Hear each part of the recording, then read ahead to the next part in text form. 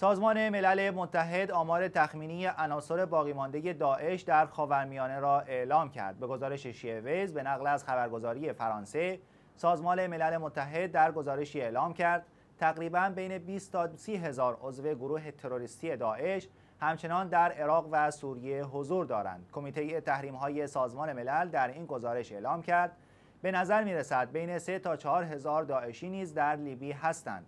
این کمیته که باید هر شش ماه گزارشی از حضور عناصر داعش در خاورمیانه را به شورای امنیت سازمان ملل متحد ارائه کند در گزارش اخیر خود درباره بازگشت این سنی های تندرو به کشورهای خود به ویژه کشورهای غربی نیز هشدار داده است.